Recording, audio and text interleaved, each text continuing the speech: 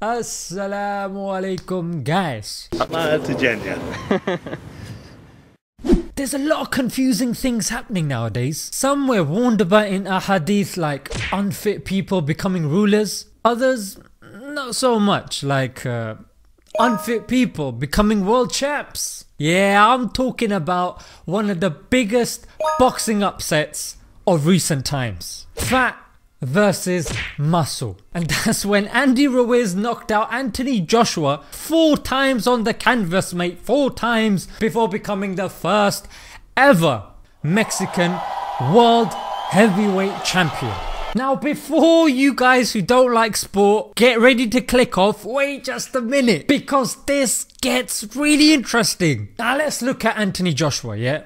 He's tall, he's charismatic, he's chiseled and he's really well known mate. And then you got this guy yeah.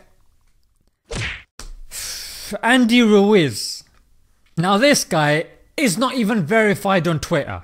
I mean the banner on his Twitter is a giant Snickers bar for God's sake and it's really blurry. It's not it's not even like proper resolution, it's quite pixelated. I mean the guy proudly admits to having a chocolate bar before every fight. He's got visible belly folds mate. Yeah, which we can clearly see in the fight. I mean, let's look at these two. You got Anthony Joshua. The guy's got more grooves than him than craters on the moon. This guy's got more bread rolls than a bread factory. That's so funny. Last time I heard that, I laughed so hard I fell off my dinosaur. I mean, his own promoter, whose sole purpose it is to make you look good, referred to him as a fat slob. But one of the things that really stood out was, despite all of this, he was only given 6 weeks notice about this fight and he was still ready. Now there are a few conspiracy theories circulating about why Anthony Joshua could have lost. Let's have a look at a few yeah and see which one's the most credible. Number 1 he wanted to take attention away from the Liverpool victory.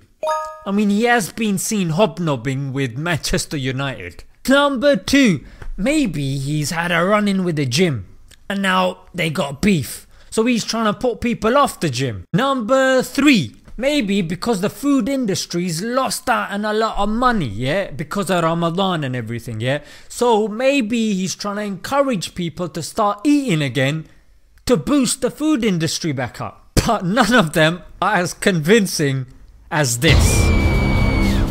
Yes that's right, it's the Drake curse. Anyone who meets with Drake before a fight loses.